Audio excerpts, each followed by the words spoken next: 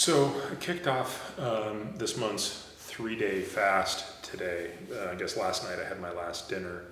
And um, I was thinking about this on my workout this morning that I've never really kind of explained some of the tricks I use around how to speed up some of the benefits of fasting. And I consider the day one workout to be a very important one. So, if any of you have listened to my podcast with Eileen White, which uh, is the podcasting where we go really, really deep on autophagy, which is obviously one of the main benefits of periodic fasting. You may recall that we talk about nutrient sensing being a very important trigger for autophagy, and one of those is obviously glucose. So, um, I think in that podcast, but if not in that podcast, certainly in other podcasts, I've discussed the importance of glycogen depletion. So, what is glycogen? Again, it's the storage form of glucose. So, glucose is a very simple monomer, it's a six carbon ring. And if you want to store glucose, you have to you know, aggregate it and join it to a whole bunch of other glucoses. And basically, glucose is stored in this glycogen form in two places it's stored in muscle and it's stored in the liver. And they behave differently in those two places. So, in the liver, glycogen stays stuck in the liver for reasons I don't want to get into now. But basically, there's a, an enzyme that's missing that would prevent the final stage in allowing the glycogen to be turned into a glucose form that can escape. And so, the benefit of that from an evolutionary perspective is that at least the muscle always has its own store of glucose that it never has to share with anyone else.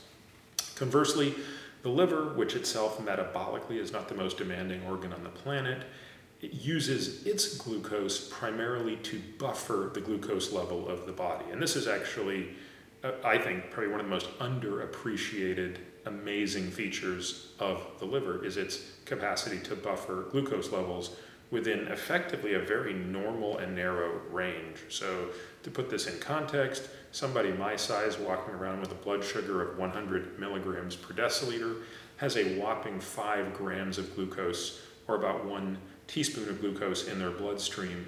And you know, somebody who's got uh, the most advanced case of type 2 diabetes might walk around with only two to three times that amount of blood, so call it, uh, pardon me, glucose in their bloodstream. So say 10, maybe 15 um, uh, grams of glucose.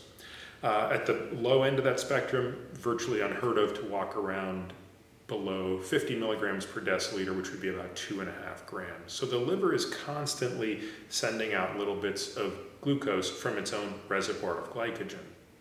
But then you realize, well, the liver can only store so much glycogen. In fact, the liver can store you know, maybe 60, 80, at most 100 grams of glycogen at any point in time. The muscles can do about three or four times that amount. So, how is it that we can fast for three days and yet maintain a blood glucose of 60 or 70 milligrams per deciliter? Uh, and more importantly, how do we not die? How does our brain manage to survive? Because, of course, the demand of glucose by our brain is the predominant issue that our liver is trying to regulate. And how does this all tie into what I'm talking about with respect to exercise? So, what I'm trying to do on the first day of exercise is deplete my glycogen as much as possible, both from my liver and also from my muscles, because that's what basically speeds up the process that I want to draw for you on this whiteboard. And I know what you're thinking. How goofy is it that you have a whiteboard to do this? And the reason is I just think it's a lot easier to see this stuff than to sort of listen to me ramble. So I've represented my brain, liver, fat cell, and muscle because those are basically the dominant players on this stage, if you will. You'll recall that the muscle has its own storage of glycogen. So let's just say it's got a few hundred grams of glucose. In a moment, I'll talk about the workout that I did, but the purpose of that workout was to lower that as much as possible. So let's say I've lowered that to probably 150 grams. Now, my liver, let's say it started out at about 100 grams. I very quickly lowered that to probably about 50 grams. And the reason for that is most of that glucose came out to make its way to keep my brain happy. Now, what I'm trying to do when I fast is as quickly as possible turn on a process where my fat cells start releasing fat, and then that fat gets converted into a product called a ketone. But to understand why that's relevant, you have to actually sort of picture what that looks like. That fat that comes out as fat is really something called a triglyceride. So it has three carbons on a backbone and then these long chains.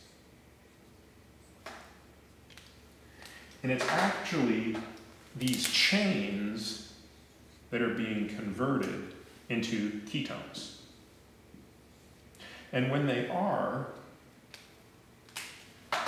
this little guy called glycerol, the backbone, makes its way back to the liver and through a process of gluconeogenesis gets turned into glucose and therefore glycogen. And you see, without that, we'd all be dead.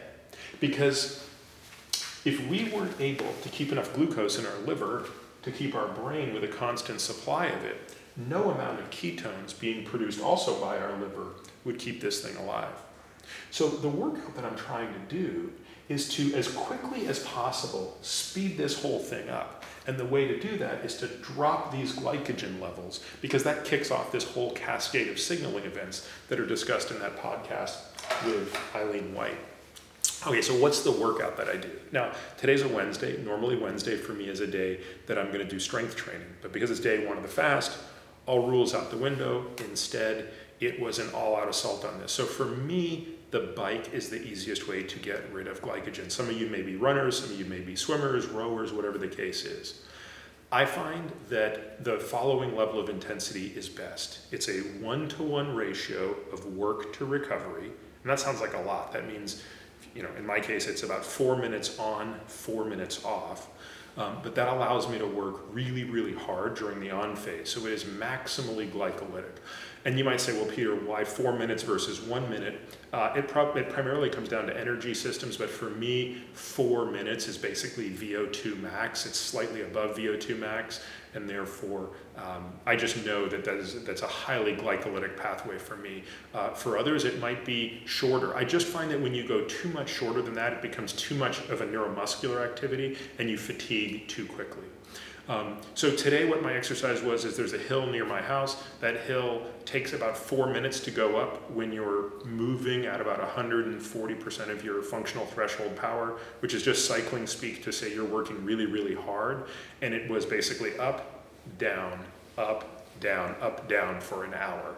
Um, if I had more time, I would have done it for two hours, uh, but I was short on time today and one hours is probably sufficient. And during that period of time, my blood glucose went from about 80 to 120, not uh, surprising.